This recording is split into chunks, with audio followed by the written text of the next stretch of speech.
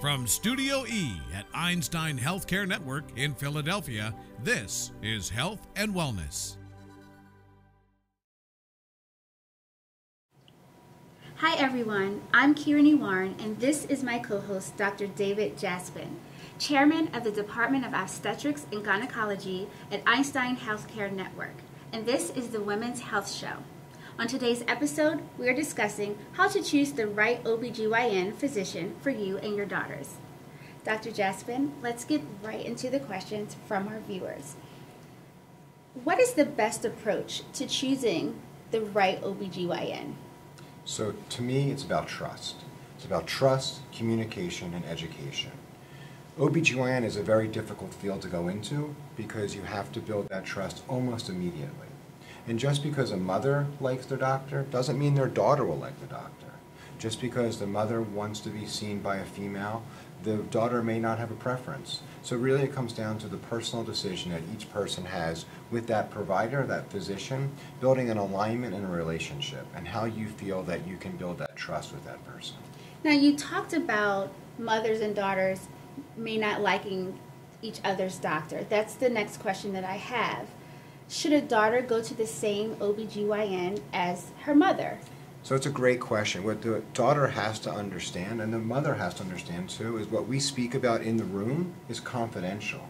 Regardless of age, I have a responsibility to the patient in front of me to maintain that confidentiality.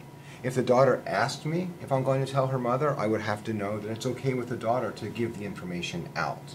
And so we really do our best and we try every day to maintain that confidentiality.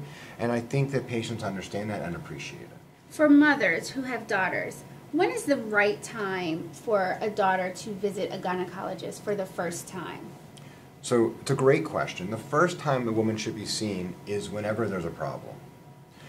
The first time a woman needs a pap smear, back in the day it used to be around the age of 18 or within three years of her first sexual activity. Now, the first time we see a woman for a pap smear is at the age of 21. But she may have other gynecological concerns, questions before that.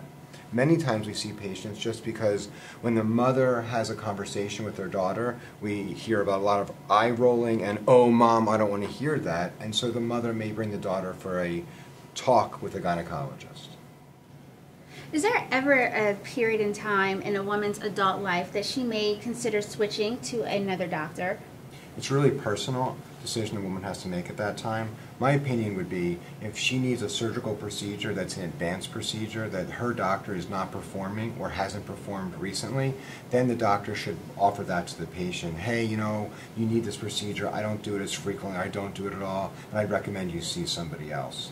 Unfortunately, in the field, many people retire at the same time, and they may need the woman may need to choose a different doctor for that reason.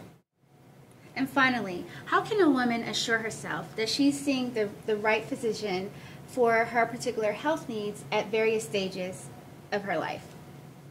So there's a lot of advocacy the woman could do for herself, understanding what tests she might need, and she can also check with her insurance company to ensure there are tests that she might need to ensure that she's maintaining her health to the highest degree as possible. And then when she goes to the appointment, making sure the doctor is indeed ordering such tests, or at least discussing the options. Thank you, Dr. Jaspan. Be sure to watch more episodes on this topic and other issues of interest that affect women and their daughters on the Women's Health Show. We'll see you next time.